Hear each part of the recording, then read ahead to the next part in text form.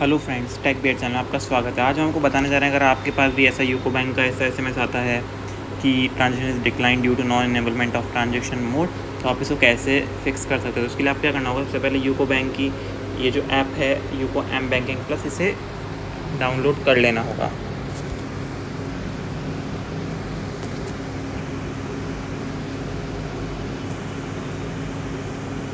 इसके बाद आपको यहाँ लॉगिन कर लेना होगा। इस तरह से आप लॉगिन करेंगे तो आपको इंटरफेस जो कुछ इस तरह से दिखेगा। इसके बाद ऊपर आपको सर्च में जाना होगा। यहाँ पर जो यू बैंकिंग का सर्च बटन है, यहाँ पर आप गए। अगर ये आपको नहीं मिला तो आप एक बार ऐप अपडेट कर लीजिएगा। यहाँ पर आपको सर्च करना होगा एटीएम डेबिट कार्ड यहाँ पर आपको अकाउंट नंबर सेलेक्ट करना होगा। यहाँ पर आप देखेंगे जो आपका डेबिट कार्ड है डोमेस्टिक यूज़ के लिए ई कॉमर्स में इनेबल होना चाहिए। कॉन्टैक्टलेस में आप चाहे डिसेबल रह सकते हैं, क्योंकि एन वाला ऑप्शन है। तो आप जैसे इसमें एटीएम पोज और जो जैसा भी आप चाहें डिसेबल इनेबल यहाँ से कर सकते हैं। इसको यहाँ से सबमिट कर देना होगा। फिर आपको अपना ट्रांजेक्शन पिन एंटर करना होगा। मैंने शायद गलत कर दिया सॉरी